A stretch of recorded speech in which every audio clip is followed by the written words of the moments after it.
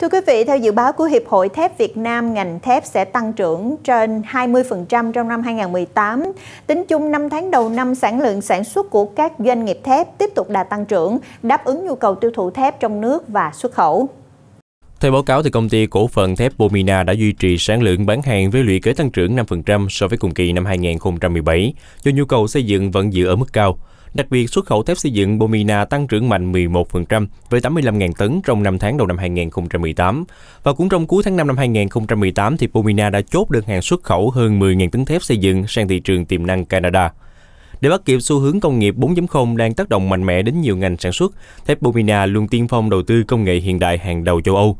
Bomina được đánh giá là nhà máy thứ 20 trên thế giới áp dụng công nghệ EAF, Gun Steel và quá trình sản xuất. Từ đó, việc luyện phế liệu ở nhiệt độ 1.600 độ C thành thép lỏng tinh luyện và được kết xuất ra từ đáy lò cùng với hệ thống cân bằng đảm bảo không bị lẫn xỉ hay tạp chất. Ngoài ra công nghệ này còn trang bị hệ thống nạp trợ dung với mức độ tự động hóa cao, linh hoạt sản xuất các mắt thép, đảm bảo không có sự sai sót mà các lò trung tầng không thực hiện được. Do đó, sản phẩm của Bomina được xếp hàng thuộc phân khúc cao cấp, chất lượng đáp ứng tốt những tiêu chuẩn khắc khe ở hầu hết các công trình lớn trong và ngoài nước.